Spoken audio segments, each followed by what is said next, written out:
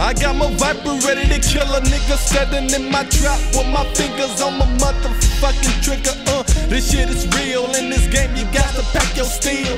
I can't remember selling rocks on the fucking hill. I stay low key because I'm silent.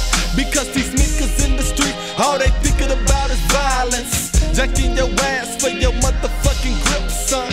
I got my nine packed in my spine, come get you some. Niggas get large and straight hoe out. A nigga like that wicked murder bro will blow your brains out, leaving your ass in the gutter. Every time I look up, I'm being approached by undercover, trying to make a fucking drug trade. But I'm too damn smart, that's how the wickedest nigga stays paid.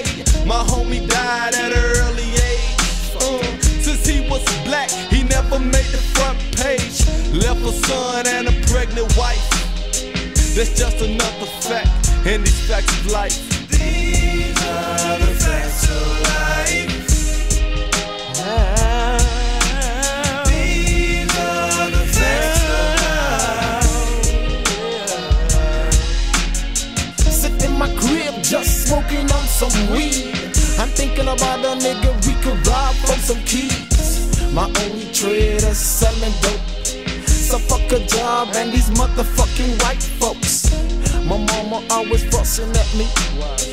I never had an education or a GED. Keep saying take your ass to church before I crazy motherfucker like myself wind up in the hearse. Yeah, know I'm in jail without a bail. The motherfuckers charge me with a sale. So I did four years in the county. Listening to this pussy ass security.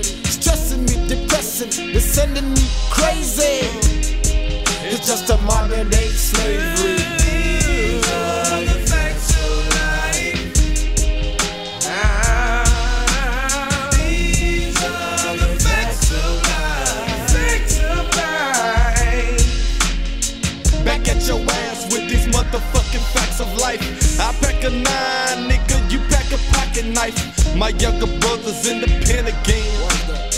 Cause he was sleeping with four keys in his fucking Benz. Took everything a nigga owned. But before he went down, he gave me love and his hair and herringbone. So now I'm all alone. The closest friend I got is my fucking chrome. I'm ready for the drama.